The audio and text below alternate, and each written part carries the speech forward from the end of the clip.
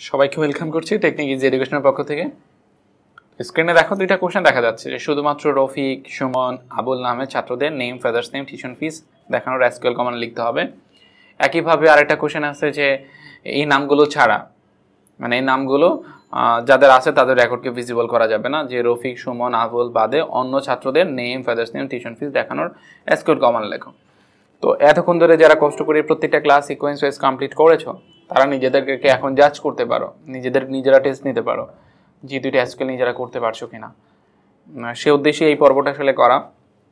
কারণ এতক্ষণ এতদিন ধরে আমরা যা শিখে আসছি, সেই কনসেপ্ট দিয়ে আসলে এই স্কোয়েলটা রান দুইটা স্কোয়েলকে প্রপারলি এক্সিকিউট করানো যাবে রান করানো যাবে। তো তারা চেষ্টা করে দেখতে পারো। আমাদের কমেন্টে স্কোয়েলটাও দেখাতে পারো যে হ্যাঁ তোমরা লিখতে সফল হয়েছো, ধরতে পেরেছ কোশ্চেনটা আর যদি ধরতে না না পারো নার্ভাস হওয়ার কিছু নেই, আসলে প্র্যাকটিসটা চালা যাও কন্টিনিউ করে যাও।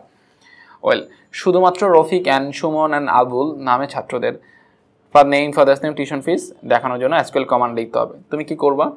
জাস্ট তুমি যদি জ্যাম সার্ভারে কাজ করো আমি বারবারই, আমি কিন্তু জ্যাম সার্ভার দিয়ে কাজ করে দেখাচ্ছি। অন্য অন্য এডিটরে একটু স্টার্টিং অ্যাপ্রোচটা ডিফারেন্ট হতে পারে।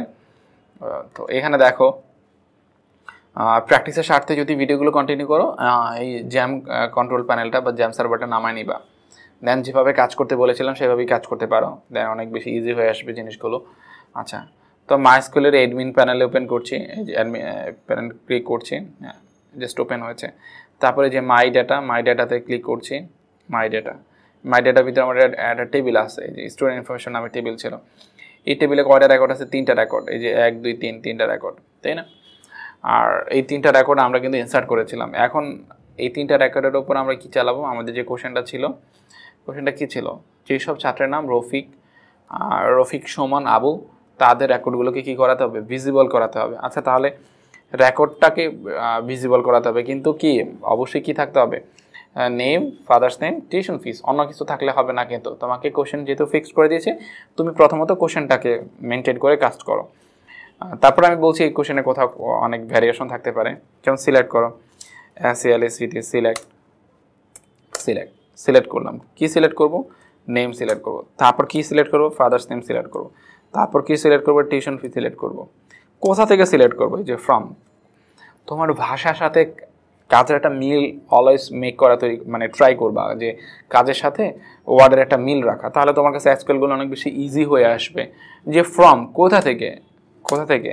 স্টুডেন্ট ইনফরমেশন টেবিল থেকে, যে স্টুডেন্ট ইনফরমেশন টেবিল হয়ার যেখানে, এই যে হয়ার যেখানে, একটা কন্ডিশনটা কি দেওয়া ছিল? শুধুমাত্র মানে নাম সুমন হইলে হবে, নাম হচ্ছে রফিক হইলে হবে, নাম আবুল হইলেও হবে, তার মানে হয়ার হয়ার যেখানে নেম এই যে নেমের কথা বলে দিছে নেম ইন এই যে ইন তাই না?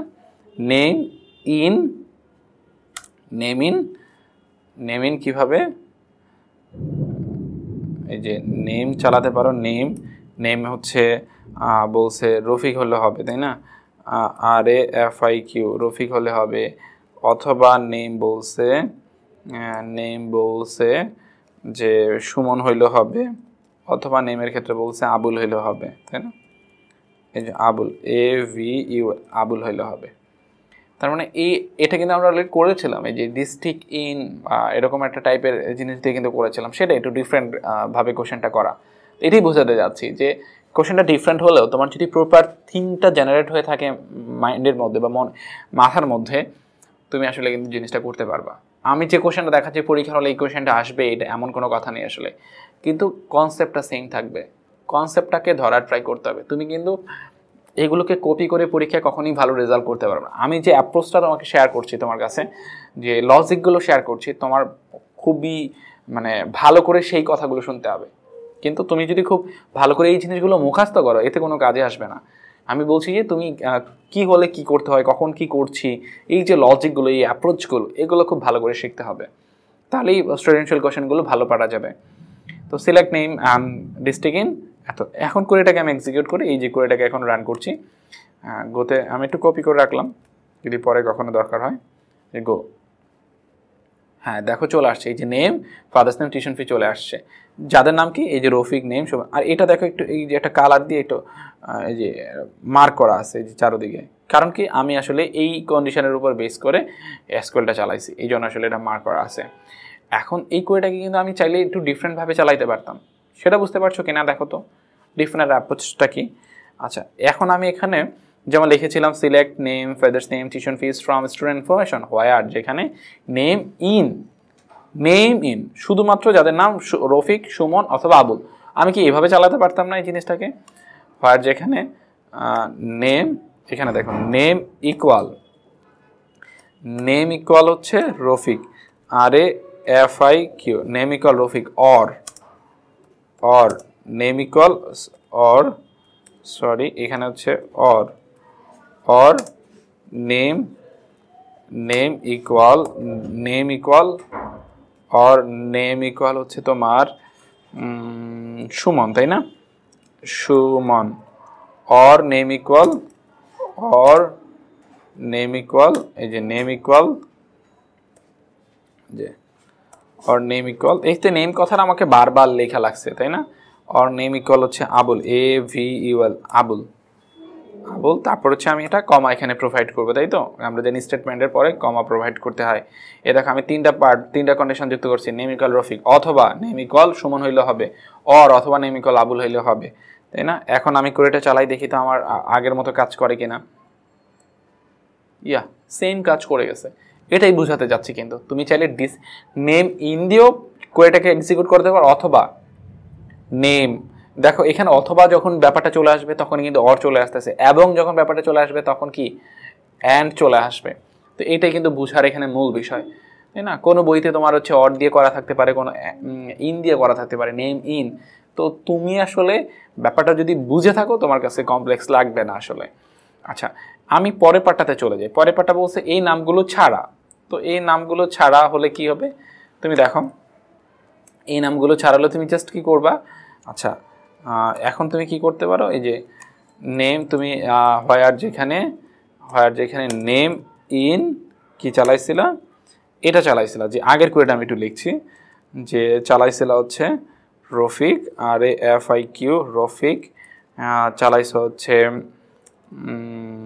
সুমন এস ইউ সুমন, তারপর হচ্ছে চালাইছো তুমি হচ্ছে Abul A V U L Abul. এটা তুমি তোমার প্রথম যে কন্ডিশনটা দেওয়া ছিল কোশ্চেনে যে প্রথম কন্ডিশনটা দেওয়া ছিল তোমার সেটা তুমি চালাইছো। প্রথম কন্ডিশনটা কী দেওয়া ছিল কোশ্চেনে এ? দেখো, শুধুমাত্র রো শফিক সমান, এদের অ্যাসকার লিখতে হবে। তাদের name father's name tuition fee select করে অ্যাসকার লিখতে হবে। এখন এগুলো ছাড়া, যে এর, এগুলো ছাড়া যদি কোনো রেকর্ড থাকে, রফিক, সুমন আচ্ছা সুমনের ইউটা বড় হয়ে গেছে, একটু বিট করে লাগছে।